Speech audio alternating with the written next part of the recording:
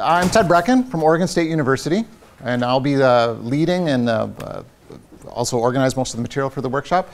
A number of other people involved, though. We have uh, myself and Ed, Eduardo Cotilla Sanchez. Eduardo's not here yet, but he'll talk in a little bit on some topics. Uh, Jin Sub Kim will also talk with us on cybersecurity issues. And then uh, Bob Bass is our Portland State lead on this project. Um, also uh, did a tremendous job getting this room together and uh, getting all these facilities ready. And then some other speakers we have lined up. Leon Kempner, BPA. Leon's here. Where'd Leon go? He's here somewhere. And maybe stepped out. And then uh, Yumei Wang, also from, um, from DOGAMI, will speak as well. So why this workshop? Where did this come from? Uh, about a year ago, Eduardo and I wrote a proposal to the Oregon Talent Council. Um, it was a $700,000 project uh, to fund uh, a variety of activities, but largely based at training the Oregon workforce. It's just finishing up right now, ran from June to June. Uh, partners on this project are us at Oregon State, uh, Portland State University, and then our utility partners, Central Lincoln PUD, Pacific Power, and Portland General Electric. And so the key, key outcomes of this project are one, we did an on-campus course at Oregon State University. I was the main instructor for that. We just finished it. I just finished that up. Another is this online asynchronous course that we developed this summer that will come online at the end of the summer. So that's meant for practicing professionals. It's an online course you can take. It's not through, it's not for OSU credit. You can get CEUs for it. It'll probably be about 10 hours of seat time. And it's just you can just take it at your leisure. It will be some of the material from this. It will be some other material, right? But it's aimed at people that are out there that aren't going to come to campus for a class, right? But want to take, um, want to learn more, want to do uh, more. And there'll be more technical details in that. There'll be some. We'll actually work with some power flows and things like that. So I'll be developing it this summer, and this will be online at the end of summer. Um, and of course, the other big third outcome is this, this short course.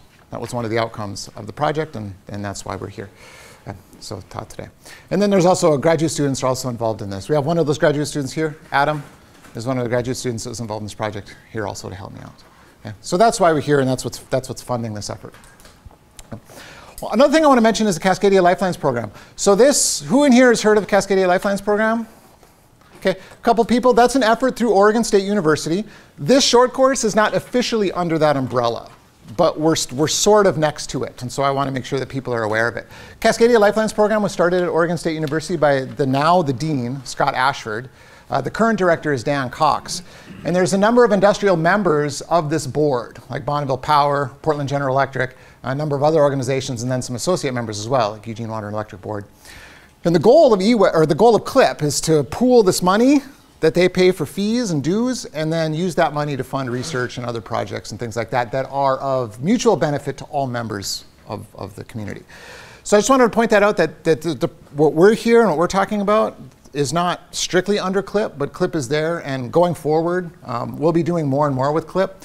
Um, so if you're, if you're interested in being engaged at what's going on at the universities uh, with regard to resilience, um, certainly, uh, you know, follow up with me for more information or Dan or whatever and, and see if you can get involved with CLIP. That, that's an excellent mechanism to be engaged with what's going on and be engaged with the community that's working more and more on this.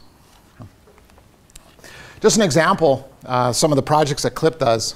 Uh, there's a whole bunch of them, but just an example, there's a project with EWEB, um, tested the, the resilience of some of these uh, older concrete um, distribution poles and they did uh, subjected them to cyclical cyclical loading in the lab. Here's a picture of what that looks like. Then you see the cracking on this.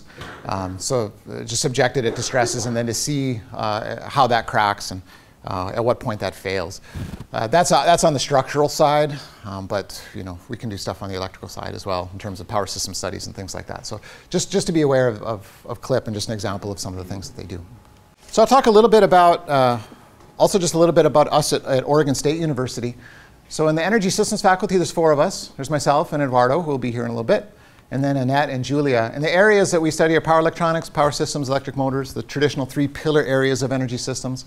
And then within that, uh, we do some hydropower work. We've had a number of students that have had uh, fellowships through the Hydro Research Foundation. Uh, we do work on electric vehicles. We do a lot of renewable energy work, so uh, covering all, all, different types, and then we also study integration of that, um, some protection energy storage work, and then some resilience work as well. And so the lab for us is the Wallace Energy Systems and Renewables Facility. Which is this lab. And uh, some people may not know about this, but it's a tremendous resource that we have here locally. It's actually one of the highest power university-based energy systems labs in the US. It used to be a high voltage lab.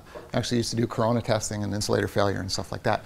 Um, it was revamped though in the mid 90s by its namesake, Alan Wallace, who passed away um, around 2005 and it was named for him. But, but this lab was really rebuilt as a, as a motors focused lab. But we have a, a lot of resources anyway for any kind of power systems work. Uh, 300 horsepower motor test bed. Uh, we've got our own dedicated three quarter of a megawatt feed from the utility. Um, we have a lot of other transformers and other equipment as well. And I also should mention that we have a PMU network. We actually, our, our campus is fairly highly instrumented with PMUs. We have five around campus, and we have two more that are currently, um, that are currently going in. And we're using that for a number of, for a number of research projects related to PMUs.